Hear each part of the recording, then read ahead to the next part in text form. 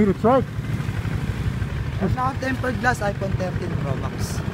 Mm, iPhone 10, 13 13. Ano, glass? Matte. glass. Ah, glass. It's called matte? Yeah. Yeah. You have? Ah. Sige, buka.